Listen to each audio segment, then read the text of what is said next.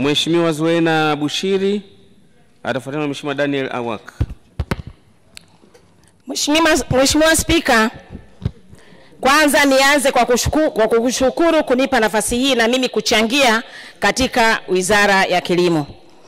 Mheshimiwa Spika, nianze kwa kuwapongeza Waziri wa Wizara ya Kilimo, Naibu Waziri na watendaji wake wote kwa kazi nzuri sana wanazozifanya. Mheshimiwa Spika, mimi nitajielekeza katika kilimo cha umwagiliaji, umwagiliaji wa mpunga pamoja na tangawizi. Mheshimiwa Spika, kilimo cha mpunga ni kilimo cha chakula na biashara. Kilimo cha mpunga kinaingizia kipato sana wafanya biashara. Kilimo cha mpunga ni kilimo ambacho kinahitaji maji ya kutosha, lakini kwa tabia nchi yetu kwa, tab, kwa tabia nchi mvua zimekuwa chache sana, hivyo mazao ya kilimo cha mpunga yamekuwa machache sana.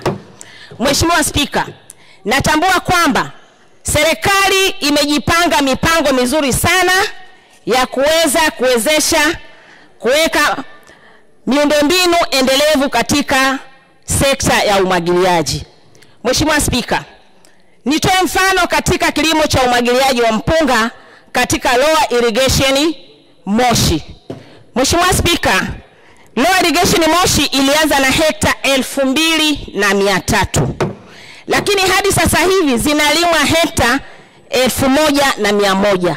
Hii inatokana na miundombinu chakavu ambayo imejengwa tangu mwaka 1987. Mheshimiwa Spika, kama kweli serikali nia yetu ni kuboresha, ni kuboresha miundombinu hii katika skimu zetu, ni vizuri tukaelekeza nguvu ili tuweze kufanya kazi ya kusaidia wakulima wale ambao wametengeneza mabwawa yao, ili serikali iongeze nguvu ya kutengeneza mabwawa ya kutosha, ili kilimo cha umwagiliaji kiwe kilimo endelevu. Mheshimiwa Spika, nije katika swala zima la kilimo cha tangawizi. Mheshimiwa Spika, wote tunatambua kwamba kwa kipindi hiki cha korona tangawizi imekuwa ni kilimo ambacho kimeleta tija sana nje na ndani ya Tanzania. Hakuna familia ambayo inaweza ikalala bila kukosa kipande cha tangawizi. Mheshimiwa Naibu Spika, kule Same Mashariki katika mkoa wa Kilimanjaro wilaya ambayo inalima sana zao hili la tangawizi. Wakulima wamekuwa wakilima kilimo hiki kwa shida sana kwa sababu ya maji. Kilimo cha tangawizi kinahitaji maji ya kutosha. Wamejaribu kujisukuma wao wenyewe na kutengeneza miundombinu ya maji kwa maana ya kutengeneza mabwawa, wapare wanaita ndiva. Ndiva ni mabwawa madogo. Niombe serikali ili kusaidia kilimo hiki kiweze kukua, iweze kusaidia wakulima wale kuwatengenezea mabwawa ambayo yatavuna maji kipindi cha mvua, ili kilimo hiki cha tangawizi kiwe kilimo endelevu na kiweze kuwaingizia mapato wakulima wetu pamoja na serikali kwa ujumla. Mheshimiwa Spika, nije katika zao la vitunguu. Zao la vitunguu linalimwa mkoani Kilimanjaro ni biashara kubwa sana kwa akina mama kule Kilimanjaro. Ukienda utakuta akina mama wamebeba makarai wanauza vitunguu.